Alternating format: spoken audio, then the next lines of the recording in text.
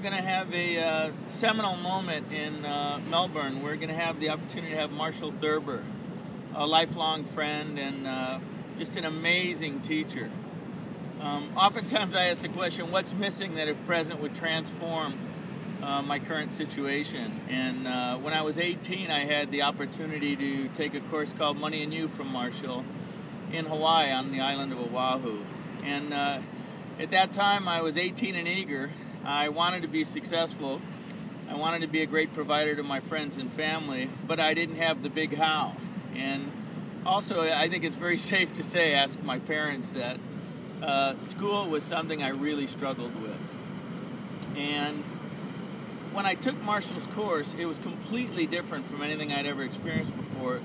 The, the learning was experiential. In other words, uh, he would create this series of games. So what I had is three and a half days of games, which was really fun for me. But out of it came learning in a way that was sticky. It stuck with me, and it really set for me in motion a opportunity to engage life with a whole nother level of confidence. And so, let's see, I'm going to be 54 next week, so you do the math.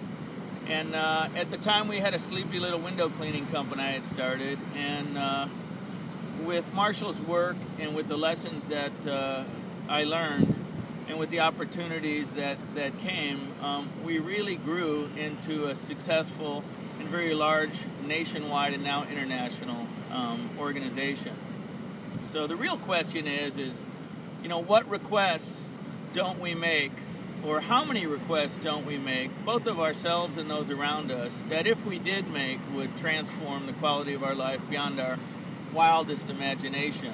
Uh, this week I'm down with my wife and some good friends at our farm in New Zealand and uh, taking a time to reflect and renew and look at really what's important.